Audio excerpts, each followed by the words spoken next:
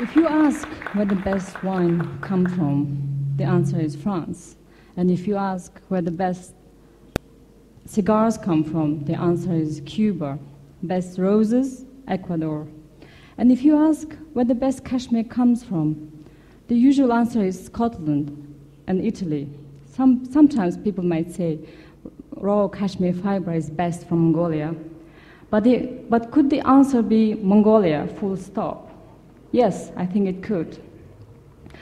I started working with cashmere in 2002 when I set up my brand in London. It was a natural move for me. It was a natural move. For, it was a natural move for me being trained in textiles and growing up wearing and loving cashmere.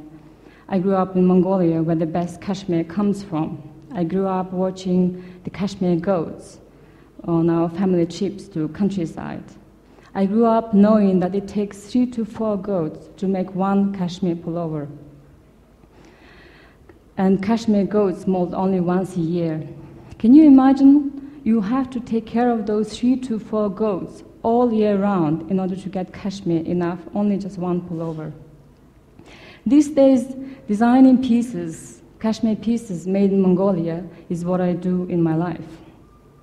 We often ask by our customers who are amazed with the quality of our products is it made in Italy or are you a Japanese brand? And it feels really good to say, no, it is made in Mongolia. So, what would it take to make Mongolia associated with the best cashmere in the world? I think it would take four elements. The best is raw material. As with everything, it starts with ingredients. If the ingredient is good, half the game is won, which we already have. The best raw material we have in the world, best cashmere in the world, thanks partly to our pristine mountains and steppes where our goats pasture. The second is quality. Our factories are equipped with the latest machinery from Germany and Japan and they can deliver quality. Their fast learning staff is uh, trained abroad to run that machinery. We have very skillful people who can have attention to detail and an aesthetic eye. I work with very few select factories here, and I'm often amazed with the craftsmanship skill and hard work of the people who are involved in the process. And I'd like to take this opportunity and thank them very much and tell them yes, Mongolia can produce best quality cashmere that touches many people around the world. Third element is design. I think nature has, has made an amazing job designing such a thing as cashmere, and there's very little left to do for a designer working with such a beautiful natural fiber. I love designing pieces that are simple, but they have, that, that, which have a little twist about them. I avoid designing classical pieces, and I try to design pieces that last long and comfortable to use. It's very easy to get carried away while designing and just to design for the sake of designing or just for the sake of newness. It's more challenging to design pieces that are innovative and truly enjoyable and practical for a wearer. But like in many other fields, the actual product designing is only a part of an entire process, which is a final product. In this case, turning a pile of cashmere into a personal experience. Everything needs to be designed and thought through, starting from labels, swing tags, what's red and what safety pin to use, whether the label is scratchy for wearer, whether the swing tag is damaging the product. Sometimes in our company we can discuss for minutes whether we should stitch the label with two little stitches on sides or two, four little stitches on four corners. And then we can talk about packaging.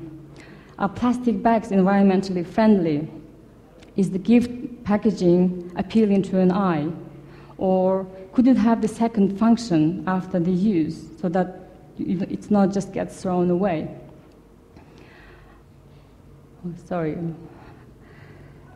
And um, the fourth element is brand.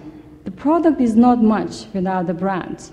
These days, we don't just buy a product, buy into experiences.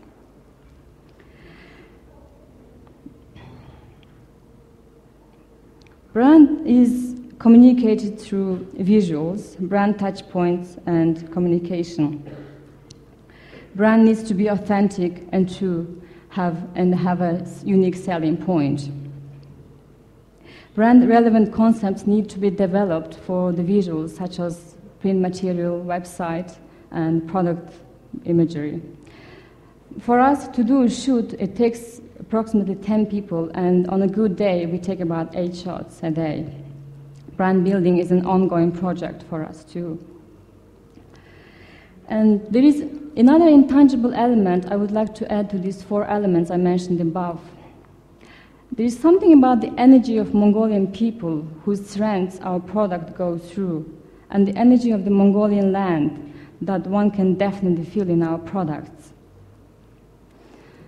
I think everyone would agree that food made with love will always taste good. Same goes with products. If a lot of attention and care put into it, one can feel it.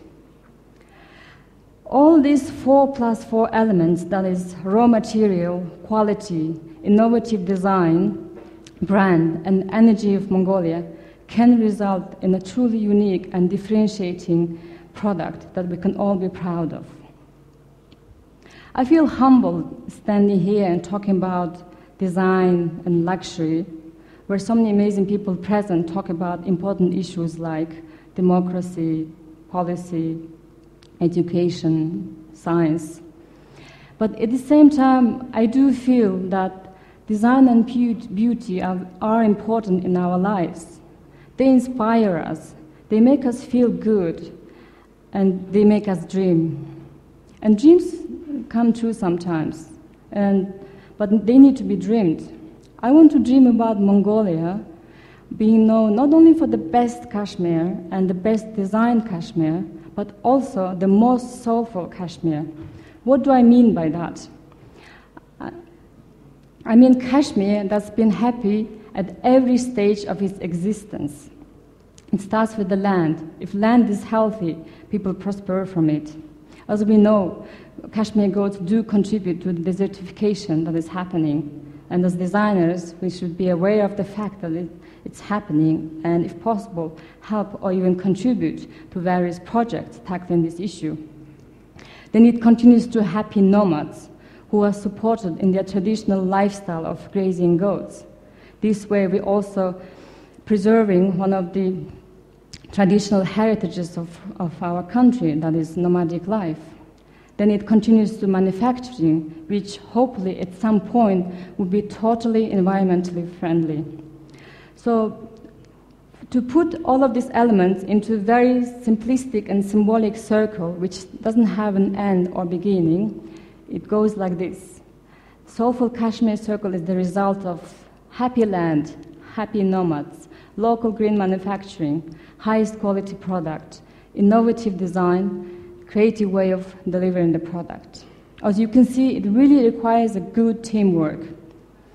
Hopefully, Mongolia will be known not only for our great ancestors, for the extractions of our natural resources to fuel other economies, for our beautiful vistas, but also first developing country in the world that managed its natural resources in a clever and sustainable way, country that kept its pristine land for future ecotourism, and the country who gave the world not only the best quality and best designed cashmere, but also the most soulful cashmere. Thank you.